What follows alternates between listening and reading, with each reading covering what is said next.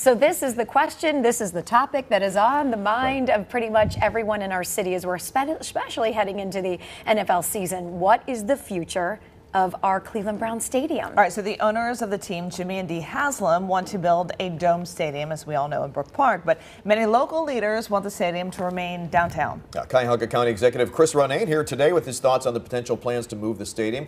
Uh, welcome. Good Great to be to with you. you this morning. Morning, everybody. Good morning. Good to have you. Good yeah. to be here. We heard a little bit uh, when you talked to uh, Ed and Peggy yep. Uh, a little earlier this week. They asked you a couple questions about that as well. And and it's it's I mean it's football season, right? People are yep. talking about it even more especially as it gets closer to that. So, right. what are some of your thoughts about keeping uh, the stadium downtown? And, you know, if it's a county issue, yeah.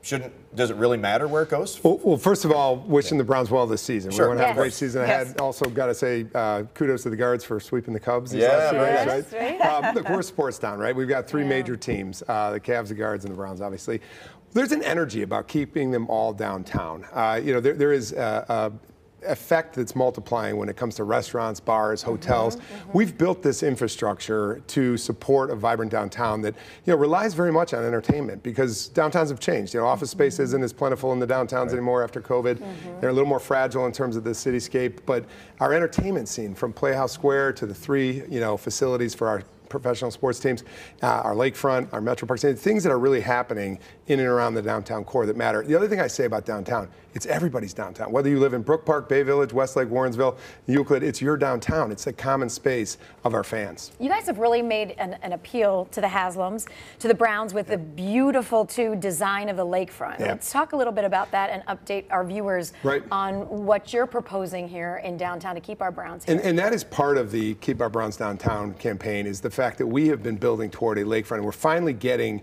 uh, some wind in our sails with the state of Ohio. The land bridge is real. We're starting to see this connection from the convention center right. happen. I, I, was the former planning director. We worked on this a number of years back, but it's nice to see it taking hold now. Um, we were with the governor yesterday and talked more about that harborfront plan, you know, and, and there's a lot of there there. Um, between the convention center, the second phase of the Rock Hall, you know, the Hilton Hotel mm-hmm. is doing very mm-hmm. well, as are other downtown hotels. We just had a conference of 5,000 people here downtown this past week. We've had 60,000 hotel bed nights over the last two months. We don't want to see that pulled away. That gets pulled away, it deflates the balloon, if you will. And it's everything we've been building up toward. And so that lakefront, again, back to it, it's going to be open, it's going to be vibrant, it's going to be more developed in the nearer term. And especially with that second phase of Rock Hall, people want to be there. Yeah. So let me ask you this, if it does go out to Brook Park, is Dan Gilbert concerned that maybe it will take away events from Rocket Mortgage Fieldhouse? Because look, when we see the video yeah. and the beautiful montage that was created, we're like, wow, we see the Super Bowl here now. There's a big possibility. Well, I would wish or also concerts. that the Browns would bring their lakefront plans because I've seen them and they're pretty handsome in terms of the, sure. the other idea. Right. And I think the public should see it.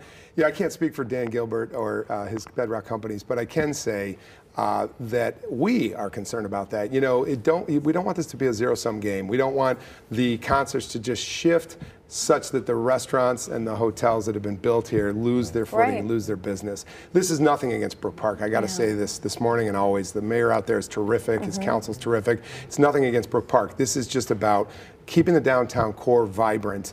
And the Browns are a very big part of that, and they sure. know that. The other thing I just want to say is, you know, as county executive, I do have to watch the treasury of our taxpayers, you know, and the issue of the um, finances is real. You know, 600 million in bond issuance from the county and that debt coverage is a real concern. And there's a fragile model that they've got out there. Um, and we don't take that lightly. So the dual effects of trying to keep a downtown vibrant and not soaking the taxpayers is why I said. Well, how does that happen? What does that mean to taxpayers and businesses? How will they be affected or impacted? You know, two ways. I mean, one is the ongoing issues of everything we've built. Uh, small businesses, mm-hmm. restaurateurs, you know, mm-hmm. hotels, uh, they do get impacted when there's a migration of entertainment outside of the downtown core.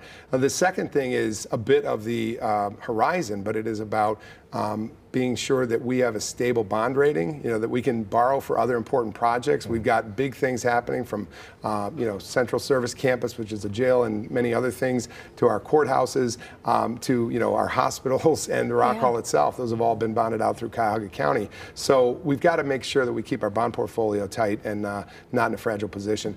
The Brook Park model is, at this point for us, um, we have said continually, and, and really it's final for us, we've said it doesn't work. It doesn't hunt, and we're not going to go there. So um, if the state, you know, decides to make that plunge there, or if the Haslam's decide to do more on their own, um, we get it. But we actually urge them to come home.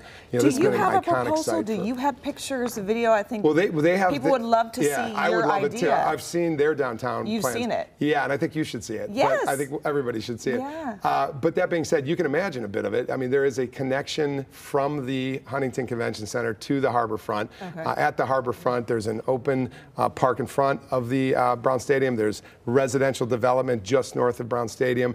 Uh, there is um, a uh, you know a, a, second phase of the Rock Hall. It's going to be exciting. It's going to open right. up in 2026. Everybody wants to know: We're is ready. there a dome? Yeah. Is there a dome on top of that? You, you know, I always think with with design, anything's possible. But I okay. want to say also, you know, while we talk about downtown, um, this may be first of two pots. There could be a uh, a stadium in the future in the downtown that you know has a dome. If that's where the NFL carries us, and that's where the Haslam Group uh, and the ownership group wants to go, we're just saying once you leave, you leave. You know, trying to get you back. Remember 1999, if you can remember sure, that far yeah. back.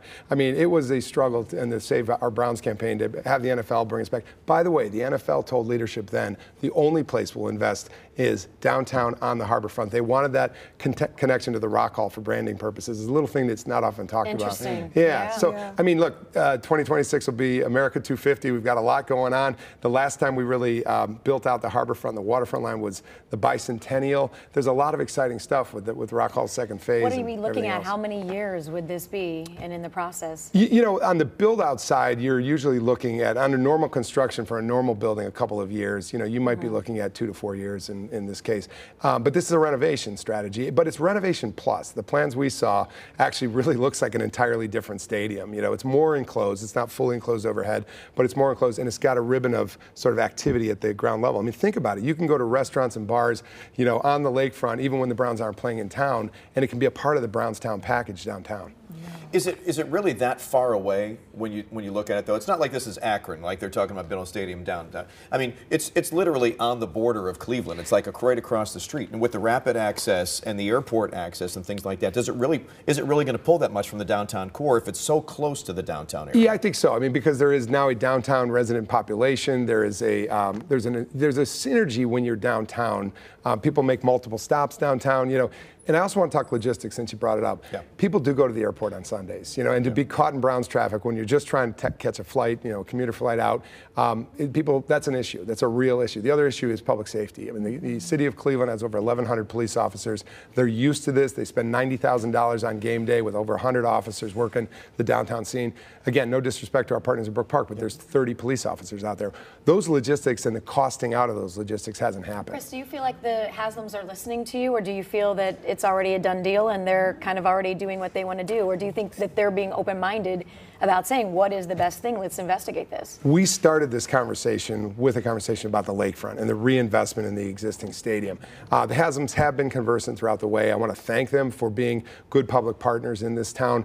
Uh, that being said, I mean, we need to get back to the table to talk about many of the practical things that I mentioned. And, you know, the county not uh, desiring to put its bond issuance out, out there, I mean, is a signal. And, and I want that signal to say, come home, as much as go somewhere else. I mean, it, it just wouldn't be a mature move in this era to take the Browns further out. Um, you know, we've been there, done that. I don't think the NFL wants that black eye. We want to see our town have the Browns, and we want to see our Browns scheduled? downtown. Like Oh, we, I mean, as, I mean, as right often now, as, as like- often as anybody wants, we're together. Um, what we'd like to do is have the Browns come back to the table with Cleveland, which I think is happening as we speak, and we'd like to join that conversation. City and county. I mean, the good things that got done in this town got done in partnership. You know, Gateway got done in the '90s. We've got a championship uh, uh, basketball team in 2016, and we got one in the hunt in the baseball team right now. Gateway happened because the city, the county, uh, the Cleveland Partnership, our, our business chamber, all came together to say, let's do this. And we did it. And you know, I got calls from all the people who built that this week and said, preserve the assets, reinvest in the downtown scape, create that walkable downtown that's unique in a mid-sized city of ours. You know, with three major sports teams. Again, we're punching way above our weight in terms of the smallest town with the biggest three market teams. Um, but Detroit's done it. They brought you know all three of their major teams back downtown. Um, you know, the, the, it's, it's happening in other cities. It's it's about the cityscape and the center city and trying to bring more entertainment value down there so there's synergy, you know, within it.